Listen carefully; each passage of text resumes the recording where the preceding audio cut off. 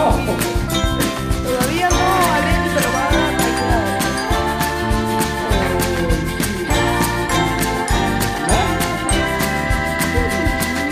¿No?